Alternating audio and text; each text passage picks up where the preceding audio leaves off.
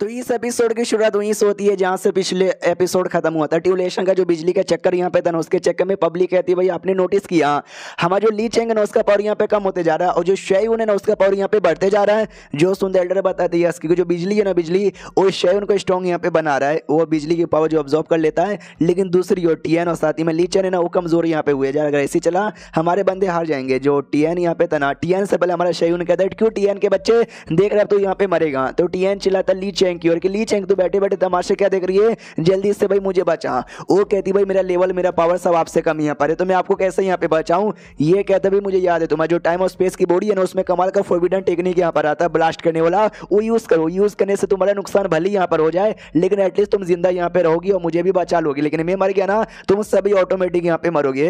हमारा शयून भी सोचता क्या ऐसी भी कोई टेक्निक होती है क्या उसके पास? अगर ऐसी बात है तो भाई उससे पहले मैं उसको रोक रोक ही दूँगा। तो वो सामने से अपना टेक्निक यूज़ करने को तैयार है हमारा मैं कहते टीएन पे हमला करने को तैयार था कि उसके टेक्निक हमला करने से पहले मैं टीएन को खत्म कर देता हूँ। उतने में जो लीडर था ना टैचू सेट का, वो लीडर यहाँ पे आ जाता है और आते ही रोक देता है हमला। तो सब लोग खुश हो जाते हैं। हमारा मैं कहता देखता भी तो गड़बड़ हो गया। सामने से लीडर ऑर्डर देता है लीचन जल्दी से अपना जो टेक्निक यूज़ करो और शय उनको जान निकालो। शय उन भी देखते कि भाई, एक अजीब सी टेक्निक ऊपर से लीडर भी आ गया। मैं सबके सामने अकेले फाइट नहीं कर सकता। मुझे निकलना चाहिए यहाँ से तो निकलने की तैयारी कर लेता है। लेकिन लीडर को टेक्निक यूज़ करता है, हमारे मैकटा को भागने से रोक देता है और उसको रोकने के बाद ना ली चेंग का ऑर्डर यहाँ पे देता है ली चेंग वो जो फुबिडन टेक्निक है ना ब्लास्ट करने वाला ब्लास्ट यहाँ पे करो, उसको यहाँ पे रोक दो।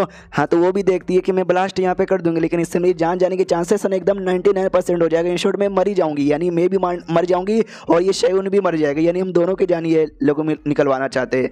हमारा मैं कटा भी देखते यार ऐसा चला तो भाई मैं मर जाऊँगा। मुझे मरने का तो कोई मूड यहाँ पे नहीं है। सामने सीडर ली चैन पे चिल्ला रहा कि भाई ली चैन के बच्चे सोचे क्या जल्दी से यूज़ कर, और जहाँ से यहाँ पे मार डाल, वो भी कहते यार मैं मर जाऊँगी। मेरे पास से कमाल का जो स्पेस टाइम का बॉडी है वो भी चला जाएगा। आप क्या चाहते हो, ये बॉडी का पावर यहाँ पे चल जाए? शेयुन भी मरेगा। उसके पास तो क्योस बॉडी है। आप क्या चाहते हो, वो भी यहाँ पे खत्म हो जाए। वो भी कहता है यस वो हमारा दुश्मन है, वो मर जाएगा तो चलेगा। और उसको मारने के तुझे भी मरना पड़ा तो भी चलेगा। अपनी फैमिली के बारे में सोच मैंने पूरी फैमिली भी बर्बाद यहाँ पे कर देंगे। तो इसके पास भी कोई रास्ता नहीं था। पब्लिक भी कहती, बेचारी लीचन, यार अब उसका क्या होगा? उसको अपनी फैमिली को बचाने के लिए अपनी कुर्बानी यहाँ पे देनी ही पड़ेगी। काश यार ऐसा कुछ भी यहाँ पे ना होता। हमारा मैं कट भी कहता, बेचारी लीचन, यार तुम्हारी तो हालत सची में काफ़ी बुरी है। सामने से लीचन भी कहती सुनो मेरी बात, तुम और मैं तो एकदम दुश्मन यहाँ पे माने जाते हैं। एकदम जो बोलते हैं ना, कुत्ता बिल्ली वाला दुश्मन, वो दुश्मन यहाँ पे माने जाते हैं। तो ज़ाहिर सी बात यहाँ पर है कि भाई तुम्हारे साथ मैं भी मर जाऊँगी तो चलेगा। इतना बोल के पहले क्या अटैक करती है? तो जैसे अटैक करती है हमारा मैं कटे उस अटैक को आराम से ऐसा उड़ा देता हवे में ये कहते तो बस, इतना ही दम तुम्हारे अंदर था। ये अटैक तो मेरा कुछ बिगाड़ नहीं पाया। वो भी कहते ये तो छोटा सा अटैक था, जो मैंने बस ऐसे यहाँ पे कर दिया। जो मेन ब्लास्ट करने वाला टेक्निक है ना, वो अब मैं ट्राई मारने को तैयार हूँ। तो इतना बोल कर ना, वो ट्राई मारती है, जिससे ब्लास्ट यहाँ पे हो जाता है और जैसे ब्लास्ट यहाँ पे होता है। हमारा मैं कटे काफ़ी दूर था। वो भी देखते कि भाई इतना दूर से कौन ब्लास्ट यहाँ पे होता है। अगर इसको सच्ची में ब्लास्ट यहाँ पे करना था, आगे आके यहाँ पे करती अब आते भाई ली चैन की और जहाँ उसकी बॉडी देखो ब्लास्ट यहाँ पे नहीं होती। उसके अंदर ही कुछ था, वो ब्लास्ट होगा, जिससे ये बड़ी कमज़ोर हो जाएगी। और जैसे कमज़ोर हो जाएगी तो भी मर जाएगी तो ये काफ़ी कमज़ोर हो चुकी थी। ये भी देखते चलो भाई मैंने उसको मार डाला शायद उनको। और मैं भी बड़ी कमज़ोर हो गई, मैं भी मरने वाली हूँ। हालाँकि अपने दुश्मन के साथ मरना उतनी भी बुरी बात यहाँ पे नहीं है। तभी पीछे से आ जाता है टी एन और कहता यस, तू मरने वाली है। ना। हाँ तो मरने से पहले तेरा टाइम और स्पेस का जो पावर है ना, वो मुझे यहाँ पे लेने दे। यस यस यस तू मर भी जाएगी, हम लोग बच भी जाएँगे, शयन भी यहाँ पे मर गया। तेरा टाइम और स्पेस का पावर मिल जाएगा। मैं और स्ट्रॉन्ग बन जाऊँगा। मुझे फिर दुनिया में कोई भी रोक नहीं पाएगा। उतने में एक स्वॉर्ड का हमला आता है, जो ली चेन को यहाँ पे लग जाता है। और जिससे सर ली चेन की मौत हो जाती है। लेकिन उससे पहले हमारी ली चेन देखती है यार ये स्वॉर्ड का हमला ये तो ये टाइम ऑफ़ स्वॉर्ड का हमला यहाँ पर है, जो मैं यहाँ पे जानती हूँ। और मैंने डूगू फाई को सिखाया था। और यहाँ पे डूगू फाई नहीं है। यहाँ पे शाई था।